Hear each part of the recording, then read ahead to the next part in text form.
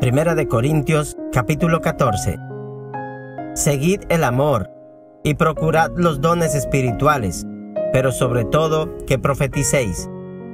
Porque el que habla en lenguas no habla a los hombres, sino a Dios, pues nadie le entiende, aunque por el Espíritu habla misterios.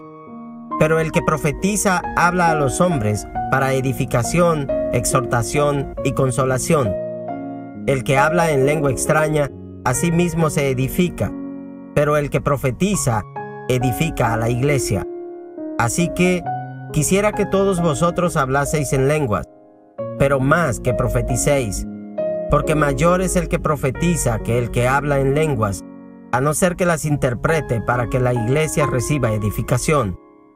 Ahora pues, hermanos, si yo voy a vosotros hablando en lenguas, ¿qué os aprovechará si no os hablare con revelación, o con ciencia, o con profecía, o con doctrina? Ciertamente las cosas inanimadas que producen sonidos, como la flauta o la cítara, si no dieren distinción de voces, ¿cómo se sabrá lo que se toca con la flauta o con la cítara? Y si la trompeta diere sonido incierto, ¿quién se preparará para la batalla? Así también vosotros, si por la lengua no diereis palabra bien comprensible, ¿Cómo se entenderá lo que decís? Porque hablaréis al aire.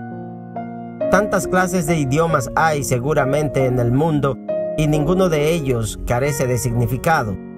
Pero si yo ignoro el valor de las palabras, seré como extranjero para el que habla, y el que habla será como extranjero para mí. Así también vosotros, pues que anheláis dones espirituales, procurad abundar en ellos para edificación de la iglesia. Por lo cual, el que habla en lengua extraña, pida en oración poder interpretarla. Porque si yo oro en lengua desconocida, mi espíritu ora, pero mi entendimiento queda sin fruto. ¿Qué pues?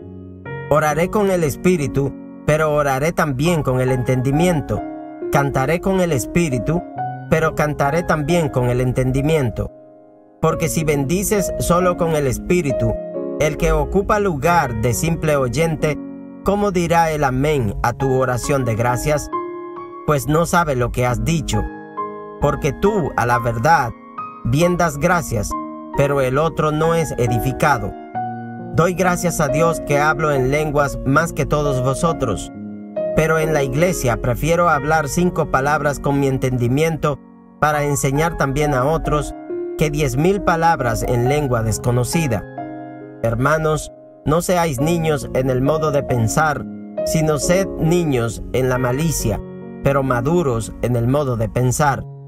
En la ley está escrito, en otras lenguas y con otros labios hablaré a este pueblo, y ni aun así me oirán, dice el Señor.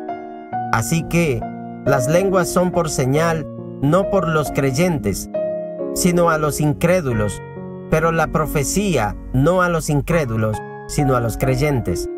Si pues toda la iglesia se reúne en un solo lugar y todos hablan en lenguas y entran indoctos o incrédulos, ¿no dirán que estáis locos? Pero si todos profetizan y entra algún incrédulo o indocto, por todos es convencido, por todos es juzgado. Lo oculto de su corazón se hace manifiesto y así, postrándose sobre el rostro, adorará a Dios declarando que verdaderamente Dios está entre vosotros. ¿Qué hay, pues, hermanos?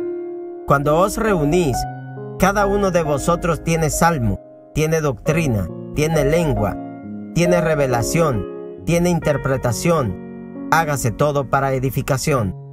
Si habla alguno en lengua extraña, sea esto por dos, o a lo más tres, y por turno, y uno interprete y si no hay intérprete, calle en la iglesia y hable para sí mismo y para Dios.